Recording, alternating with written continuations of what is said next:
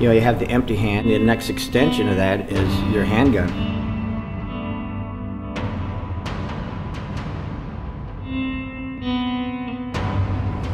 How to integrate those two together and try to be as creative as possible.